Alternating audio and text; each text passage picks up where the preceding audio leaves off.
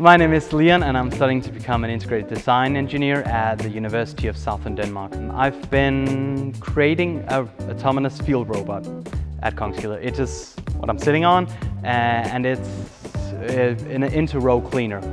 Um, and I've not made everything, of course, but I've made the mechanical construction. So everything that doesn't move, I've made. I've, and I've designed it as well. The most exciting thing about it, it uh, has been the responsibility. It sounds weird that it might be the responsibility, but it's just that you feel like you're making a difference, that you're actually doing a job that, that won't, wouldn't get done if it wasn't for you. I would definitely recommend doing an internship at Kongskilde. It's been very hard sometimes and very fun at other times.